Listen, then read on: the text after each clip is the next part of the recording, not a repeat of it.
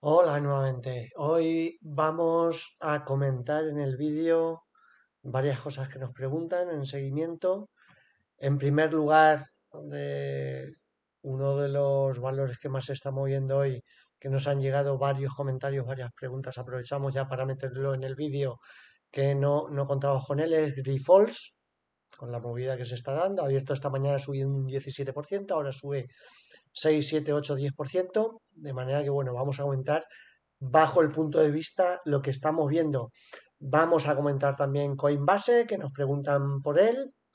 Eh, vamos a seguir viendo la evolución que está teniendo eh, Farmamar, lo que es en el corto plazo. También eh, son varias preguntas las que nos llegan por situación. Eh, el IBEX 35 para ver dónde estamos y también vamos a ver una comparación de los movimientos que se están dando de todo este tiempo y dónde están en estos momentos tanto BBVA como Santander, que es una pregunta también, además de que nos han preguntado por separado, que, salió estos días atrás en, en, antena, en uno de los programas de los que intervenimos. Entonces, para ver esa evolución. De manera que, bueno, sin más, vamos a pasar a ver esos gráficos. Vamos a ver. Eh, ya tienen que estar aquí. Y empezamos por Grifols. Eh, bueno, lo primero que tenemos que decir hoy, vamos a poner las barritas un poquito más gruesas para que se vean un poquito mejor. Y lo primero que tenemos que decir es que, bueno, que siempre que se produce un volumen alto, hoy estaría en estos momentos 1.600.000 eh, subiendo el volumen de manera importante, eh, se suele ver un pico en la cotización. Me da igual, arriba o abajo. Aquí abajo, cuando cayó, vimos esos volúmenes muy altos de manera importante y nos podemos remitir pues, pues, a otras veces que ha pasado prácticamente lo mismo. Esas caídas importantes con volúmenes importantes, destacando. Aquí se dio un incremento también de volumen importante, pero bueno, aquí venía de caída. Luego tuvo un repunte eh, puntual. Pero normalmente cuando los volúmenes destacan, eh, este es de los valores y rompe eso que dicen, que les van a contar siempre cuando el mercado está muy bien o cuando el mercado está muy mal, cuando está muy bien y se hace un volumen muy alto, les van a decir, un volumen fuerte, eso es para seguir subiendo.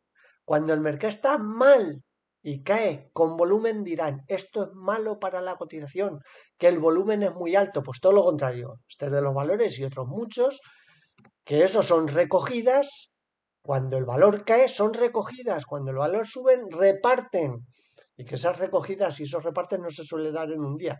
Pero bueno, cuando hay noticias puntuales, como tenemos hoy en Grifols, hoy el volumen es muy importante y bueno, ha amanecido en 26 y está en 24. O sea, cuidado, pero para que vean simplemente dónde estaría, dónde habría llegado, vamos a echar una unión rectas con los mínimos vistos estos últimos meses y vamos a echar la paralela con los máximos históricos. Entonces van a ver, van a ver, y ahora la ponemos gruesa para que se vea un poquito mejor, si no en el vídeo no, no se ve bien. Ya ven dónde ha parado esta mañana, dónde ha empezado. Si a eso le unimos el volumen importante, pues bueno, no quiero ni pensar lo que puede pasar próximamente en Grifols nuevamente. Es decir, hoy, hoy, para que la gente no se lleve a engaño, el volumen este de compras que se está dando, los que están contando aquí, son programas algorítmicos que lo único que hacen es vender, vender y vender. Y en un día como hoy les saltan el culo, les rompen el culo, les saltan los stops y compran y compran y compran. Y uno solo tiene que ver las posiciones, ponerse posiciones y como automáticamente están entrando compras. Pero ojo, son programas algorítmicos que han estado vendiendo todo este tiempo. Y programas algorítmicos que como baje de 22 nuevamente, como cierra el gap, sería muy normal ir a cerrar el gap, que estaría en torno 22 y medio, como baje de ahí, serán programas algorítmicos que todo lo que están comprando nuevamente porque les han roto el culo, van a volver a vender. De manera que muchísimo cuidado. Y, claro, alguno pensará, no, es que institucionales comprando. No, hoy no compran institucionales. Los institucionales llevan comprados meses, meses, y precisamente posiblemente muy jodidos, muchos porque es uno de los valores más recomendados, más recomendados en estos últimos meses y, evidentemente la evolución se puede ver que eh, es siempre eh, o negativa o a la baja, desesperando, porque en Grifols hay que recordar que cuando salió fueron los chollos, cuando no los querían fue cuando hubo que apostar por él. Ahora ya lleva ya muchos años que Grifols sí es una muy buena compañía, además en el mercado americano, está bastante diversificada, pero ya, o sea, la explosión ya la tuvo.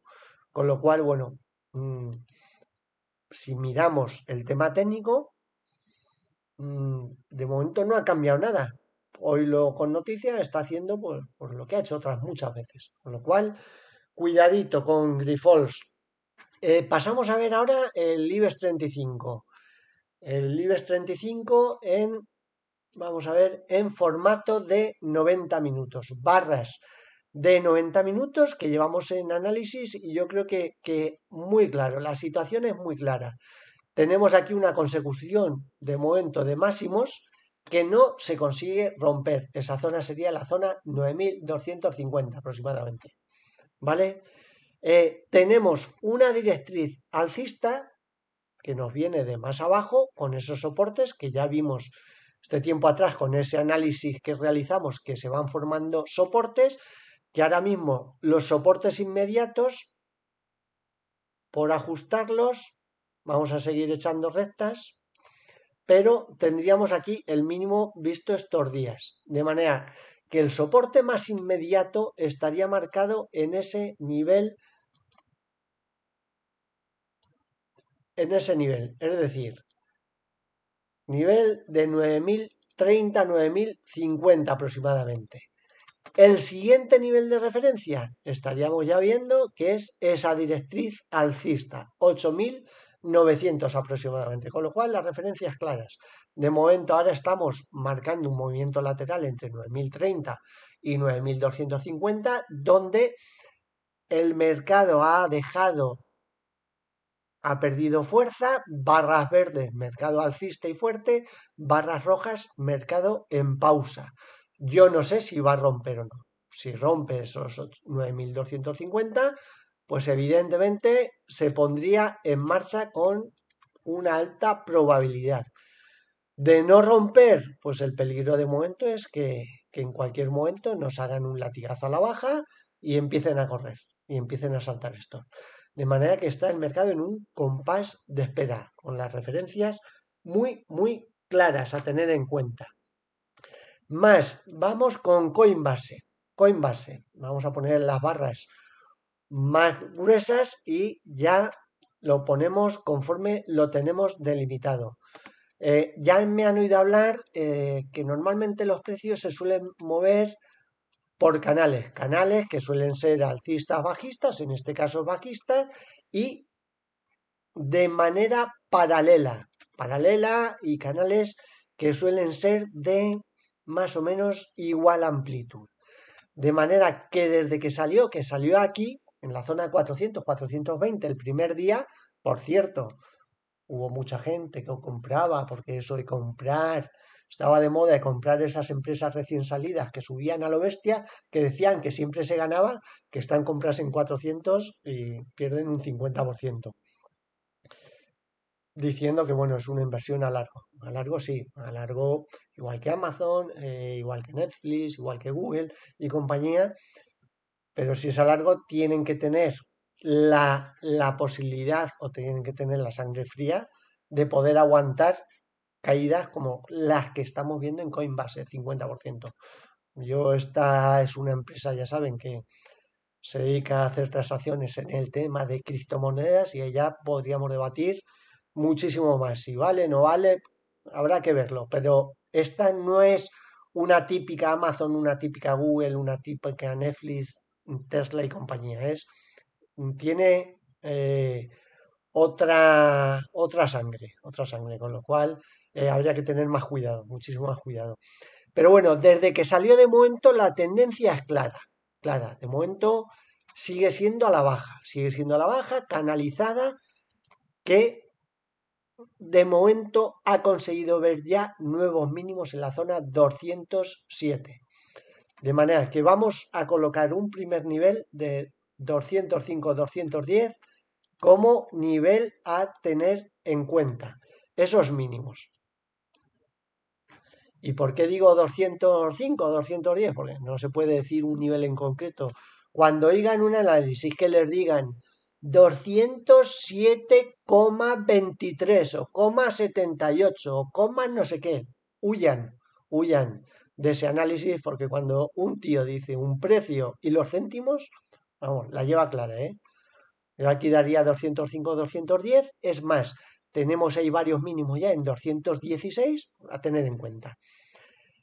Por arriba tenemos esa directriz bajista, que de momento es la que está manteniendo. De manera que la primera señal de vuelta ya la tendríamos por encima de 230. Por encima de 230 las posibilidades de empezar a ver el valor al alza serían altas. Las figuras de vuelta se confirmarían en caso de superar esa recta, 250. Es decir, por encima de 230, primeras señales alcistas de vuelta. Por encima de 250, figura de vuelta, completa y posiblemente podría salir al alza. Mientras eso no pase, cuidado, cuidado porque ahí están las referencias y aquí pues van a fuerza latigazos. Por abajo tenemos esos 205, 210 comentados y luego esas bases del canal. La última base estaría en torno a 150. Yo ya digo, no sé si va a romper al alza o no, o va a continuar. Pero ahí quedan esas referencias. Por arriba, si queremos buscar nuevos objetivos, vamos a trazar la paralela por los máximos históricos. La paralela a esos canales, que serían más o menos canales de igual amplitud, estaríamos hablando de posibles objetivos de 280. Ojo, en caso de romper esas referencias al alza, como he comentado. De manera que, bueno, yo creo que estaría más o menos claro el, eh, una posible operativa a aquellos que estén en el valor. Una posible operativa, el que se arriesga a comprar, evidentemente mm, tendría dos tipos de stop. Uno ajustado por debajo de los 16 o otro ajustado ya por debajo de 205, si no quiere asumir ningún riesgo y en cualquier caso serían stops, aunque rompan la alza. ¿eh? O sea, los niveles de referencia serían esos. De manera que, bueno, más cosas. Pasamos a ver eh, lo último comentado. Eh, Santander y BBV. La evolución, aquí tenemos la evolución desde el año 97. Desde el año 97. Podría ponerlo de más, pero para que se vea más claro. Eh, se ve de manera muy clara. Vamos a hacer incluso un poco más gruesas las barras. Verde es el BBVA y rojo es el Banco Santander. Entonces, claro, podemos ver que tenemos 10 años. O sea, en todo este plazo, más o menos, que son 10 años, desde el 97 al 2007-2008, donde el BBVA siempre ha ido por delante del Banco Santander, es decir, el comportamiento ha sido mejor, donde ha habido mucha gente que a lo mejor ha jugado con esas estrategias eh, pares, comprado BBV, vendido Santander, con lo cual van a por pequeñas diferencias, pero desde donde hace 10 años aproximadamente, si observan, cambia la película podemos ver que el rojo va por arriba y el verde va por abajo. Es decir, el Santander, el comportamiento ha sido un poquito mejor que el BBVA. Aunque al final, si uno mira dónde están los dos, siguen igual. Es decir, esos que piensan que, como nos preguntaban el otro día, que por qué pasa siempre que el Santander siempre está comportándose mucho peor que el BBVA, mentira Mentira, ya estamos viendo que en estos últimos años eh, ahora empieza el BBVA a comportarse un poquito mejor, pero son cambios, o sea, que prácticamente no se notan. Y realmente si uno sigue la cotización, claro, uno podía ver cuando el Santander estaba en 8, BBVA en 8, antes de ampliaciones, dividendos y tal, tiene que tener claro que el Santander ha realizado muchas más ampliaciones que el BBVA, con lo cual tiene más acciones. Pero si uno corrige los gráficos con esas ampliaciones, puede ver que al final el comportamiento es igual. Eso es lo primero. Lo segundo, aquí tenemos los máximos históricos de los bancos, el BBVA y del Santander. Cuando el BBVA marca máximos históricos aquí, que serían nueve y medio, nueve y medio corregido ya de ampliaciones, ¿eh? porque hay que recordar que el BBVA llegó a cotizar a 20 euros, pero si uno corrige los dividendos y ampliaciones serían nueve y medio, el Santander llegó a hacer más o menos cinco y medio. Igual, ¿eh? Santander lo vimos a 12, 13, a 14, pero corregido dividendos y ampliaciones, se queda ese máximo histórico ahí en torno a 5 y medio. Cuando el Santander prácticamente llega nuevamente a máximos históricos, fíjense el BBVA dónde se queda. Es decir, el BBVA no pudo ni con el rabo. Llegó a seis y medio. Seis y medio. Es decir, quedó 3 euros por debajo de esos máximos históricos anteriores. ¿Qué quiere decir eso? Pues el comportamiento que hemos estado viendo, que el Santander está mucho más fuerte que él. Pero al fin y al cambio, si uno va mirando estos 20 últimos años, o 30, o podría mirar 40, el comportamiento es prácticamente similar. Ahora están ahí a la par, es verdad que el BBV ahora estaría un poquito por encima, pero bueno, mm, al respecto de el comportamiento, poco más que decir. Simplemente aquí señalar que los máximos del BBVA son 9,5, los máximos del Santander serían esos altos que corresponden más o menos en la zona comentada, 5,5, y los máximos que por entonces llegó el BBVA cuando el Santander volvió a marcar nuevos máximos, bueno, estarían en torno a 7 aproximadamente. Eso quiere decir que si rompiesen estos niveles, si rompiesen estos niveles, que todavía no se han roto, esas figuras de vuelta los podría llevar a esos niveles. Esos niveles que serían en torno a un 7 para el BBVA y un torno de un 5,5 para el Banco Santander. Pero bueno, solo si se rompen los niveles actuales donde están atacando, que habría que verlo, y con referencias muy, muy importantes por arriba.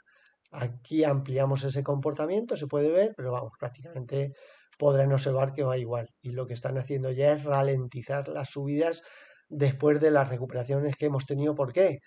Porque ya hemos llegado a referencias que serían pues bastante, bastante importantes y a tener en cuenta. De manera que, bueno, sin más, que pasen muy buen fin de semana. Juan Carlos Costa desde costaroz.com.